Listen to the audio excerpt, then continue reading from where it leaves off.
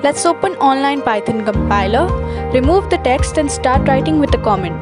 Hashtag print first 10 consecutive numbers from n.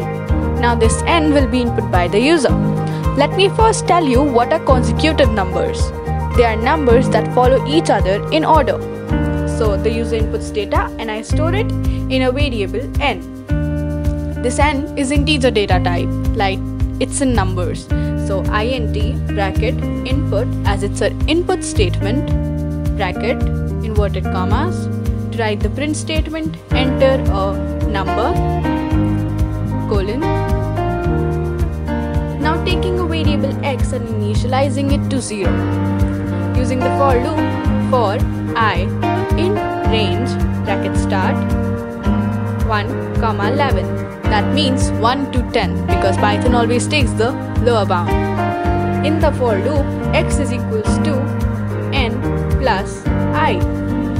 So when the loop will run once, it will be n plus 1, then n plus 2 and so on till 10.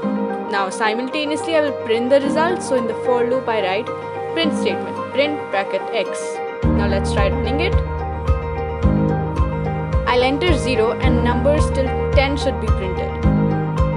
so 0 and there they go till 10 let's try running it again. Let's enter 78